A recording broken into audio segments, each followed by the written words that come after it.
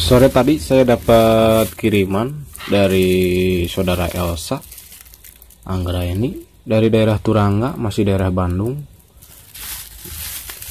Ini adalah chargeran netbook Asus yang ujungnya bermasalah atau rusak. Sekaligus saya menjawab pertanyaan yang diajukan para subscriber saya. Contohnya seperti ini. Nah, Oke, di kesempatan kali ini saya akan coba membahas atau membagikan bagaimana cara memperbaiki charger netbook Asus. Udah pernah saya bagikan, tapi dia rusaknya di bagian sini kabelnya. Sedangkan ini di bagian ujung ya. Seperti apa langkah-langkahnya dan bagaimana cara yang benar untuk memperbaiki kabel charger netbook Asus seperti ini? Tetap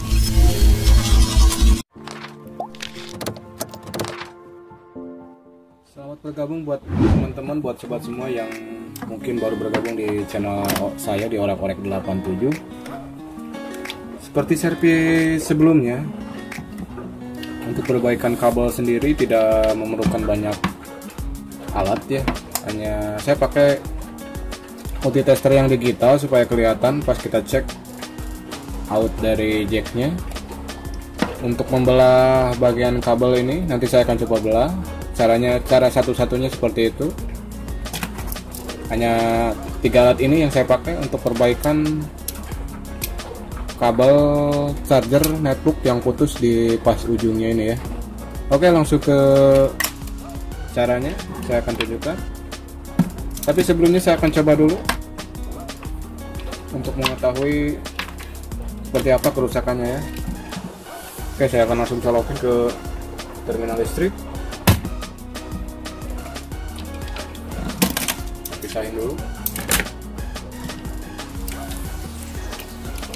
lihat untuk lampu indikatornya sendiri. Charger netbook ini menyala dengan baik. Berarti si tegangannya udah masuk sampai sini tapi ke sininya nggak keluar ya. Jadi terkendala di bagian dalam ini bagian dalam jacknya ya. Makanya saya nanti akan coba belah. Oke langsung kita cek aja.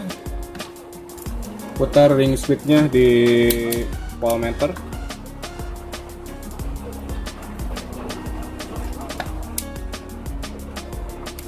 di 20 aja. Nah, seperti teman-teman lihat sama sekali tidak ada tegangan yang terdeteksi sama aponya. Apometernya bisa yang digital atau yang manual bebas. Ini untuk memastikan aja bahwa tidak ada tegangan sama sekali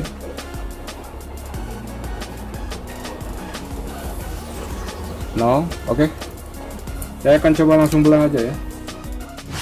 Kita siapkan kedua alat yang kita akan pakai. Tang jepit. Boleh bebas yang ukuran sedang aja jangan terlalu kecil. Sama cutter ini biasa saya pakai. Lalu kita jepit seperti ini. Dan bah di bagian yang ada garisnya. Saya diusahain dari atas aja jangan dari bawah ya. Supaya lebih gampang kita posisikan dengan baik. Oke jepit. Lalu tahan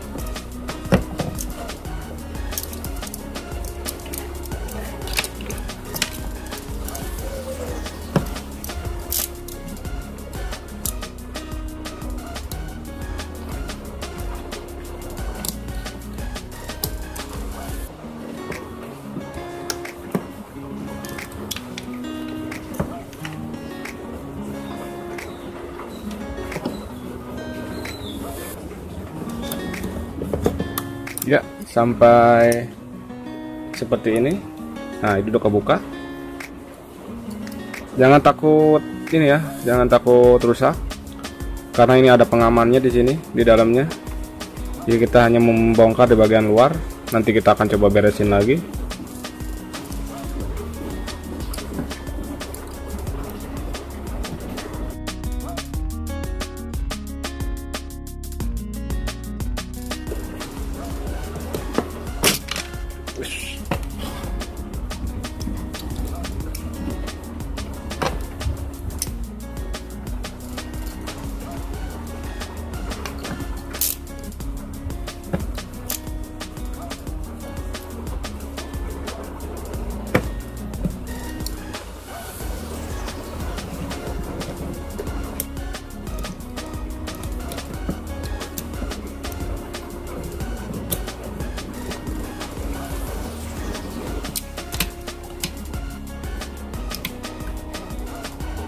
oke dan ini hasilnya.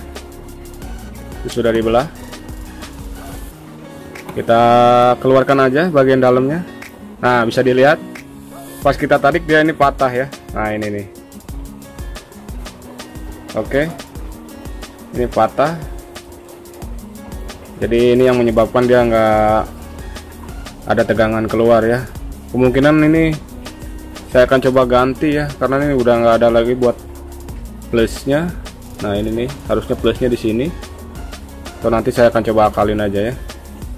Oke dikeluarin aja.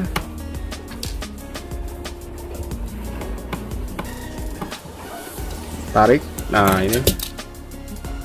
Harus ketarik. Oke ini udah bersih di dalamnya. Kan seperti ini. Oke dan jacknya sendiri. Nah ini. Sudah saya ambil ini dari charger yang sama. Nah kan harusnya ada yang menonjol kayak gini ini buat plusnya ini buat min ya sedangkan ini udah nggak ada. Nah ini udah patah. Saya akan coba ganti yang ini. Dan saya udah dapat atau ambil dari kebetulan ada ini. Sama kabelnya sama. Yang ada lampunya juga. Saya akan ambil dari sini lalu untuk langkah selanjutnya kita akan coba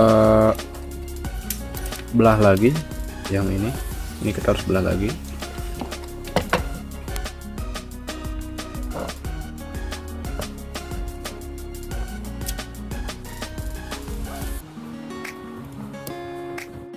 Dan ini sudah dibelah. Caranya hampir sama seperti yang pertama. Kita buka bagian ini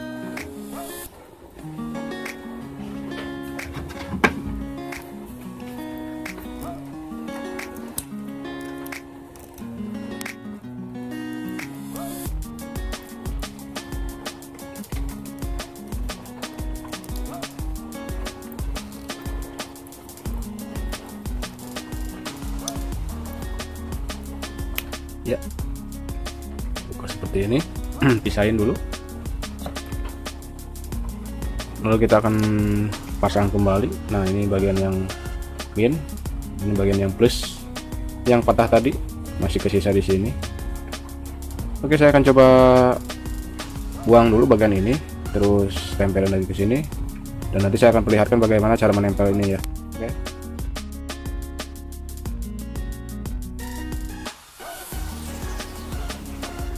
ini posisi udah dipotong. Nah, kabelnya dipotong dibuang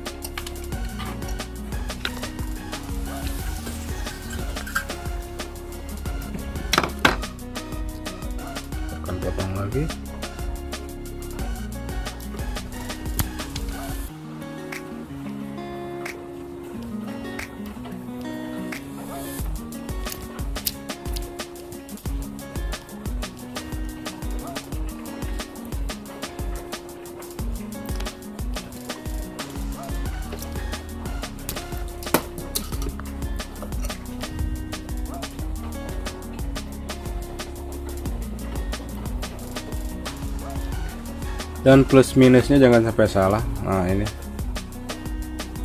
Yang plus yang ada tulisan plus. Terus yang minusnya yang sebelah sini ya. Kelihatan ya. Dan akan seperti ini jadinya. Nah ini udah disolder. Ya. Lalu kita akan buang bagian yang patah tadi. Ini bagian yang plusnya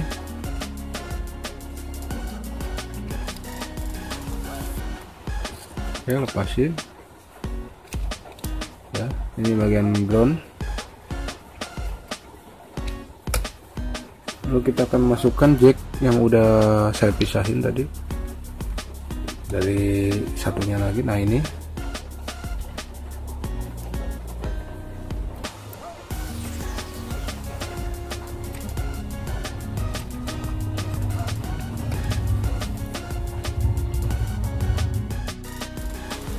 dan ini posisi sudah masuk. Nah, tinggal kita kasih timah lagi.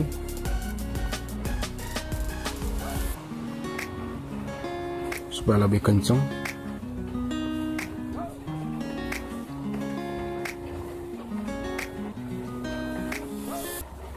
Ya. Sudah. Lalu untuk groundnya kita tempelin lagi ke ground nah ini kebanyakan nih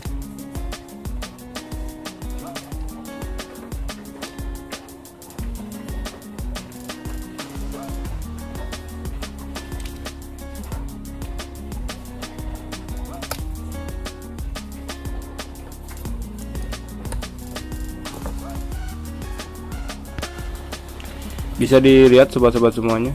Nah ini udah di solder groundnya udah saya solder lagi terus plusnya udah di solder. Untuk langkah sebelum melakukan pemasangan kembali dudukan jacknya nah dudukan ini maksud saya saya akan coba tes dulu apakah ini udah berfungsi. Kita langsung colokin dulu ke colokan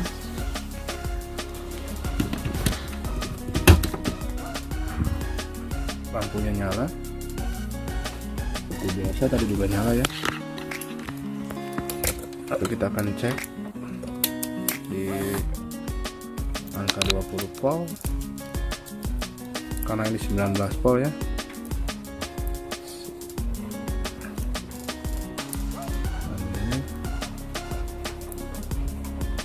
Perhatikan angka yang ada di apelnya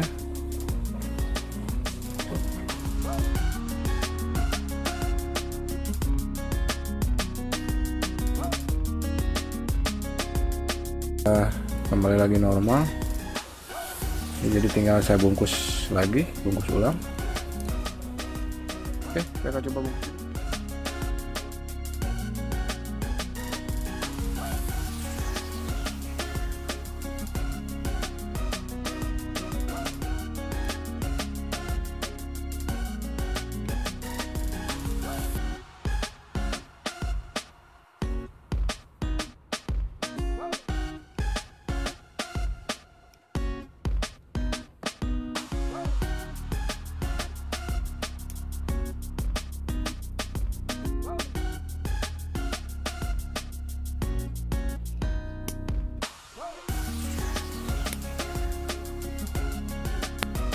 dan ini hasilnya sudah dilem.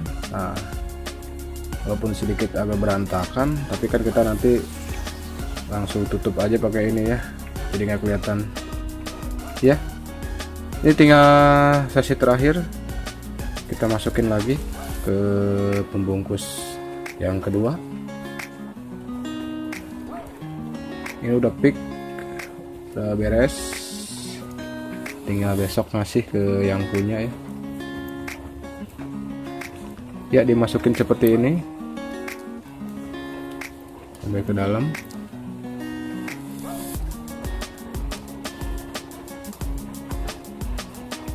Dan jika dirasa udah pas seperti ini kita rapi-rapiin dulu lalu ambil lemnya.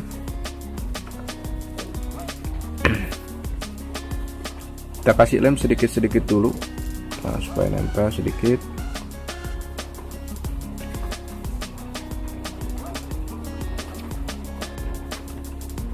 atasnya juga dikasih.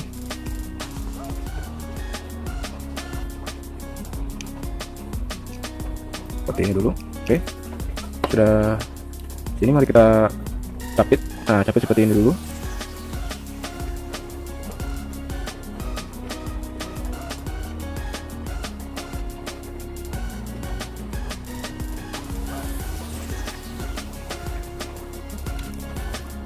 Dan sambil dicapit sambil ditambahin oke lemnya sambil tambahin aja.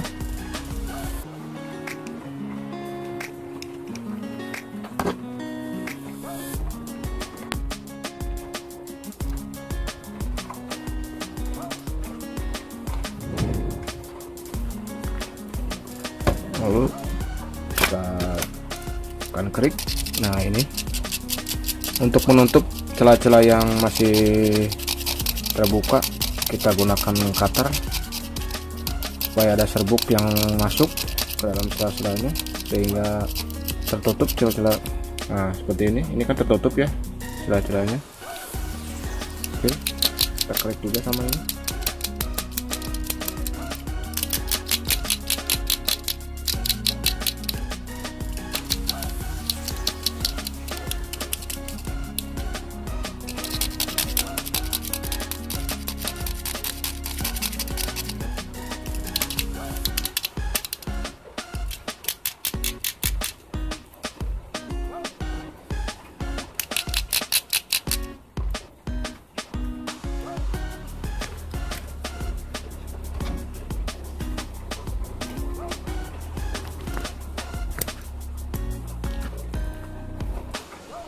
nah bagian atas.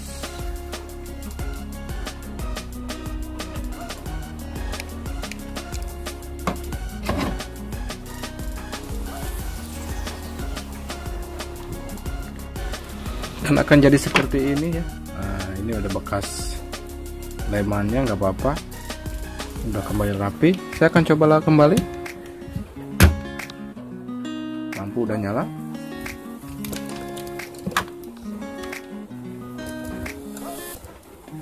kita tempelin lagi ground kena ground plusnya saya pakai kawat biar masuk. Ah jadi perhatikan sobat-sobat semuanya. Pometernya menunjukkan 18,91 itu artinya si charger netbook Asus yang rusak di bagian kepala nah, di bagian ujung jacknya ini. Yang tadi kebetulan jacknya patah. Nah ini saya ganti. Untuk kesimpulannya di orak-orak hari ini di berbagai solusi dan pengalaman buat sobat-sobat semua yang punya charger netbook atau laptop Asus yang mengalami kendala di bagian ujung jack seperti ini ini kebanyakan yang rusak di bagian kabelnya ya. Nah jadi buat sobat-sobat semua yang mungkin ingin memperbaiki atau mau praktek sendiri silahkan. Ada juga yang mau dibantu uh, oleh saya untuk memperbaiki silahkan. Saya dengan senang hati membantu sobat-sobat semuanya. Untuk video kali ini saya cukupkan sampai di sini dulu sobat-sobat semuanya. Terima kasih banyak atas segala perhatiannya. Terima kasih banyak yang udah subscribe di channel Orak Orak 87 berbagai solusi dan pengalaman Mohon maaf atas segala kekurangan. Saya undur dari pamit dari hadapan sobat-sobat semuanya. Sampai jumpa di lain kesempatan. Assalamualaikum warahmatullahi wabarakatuh.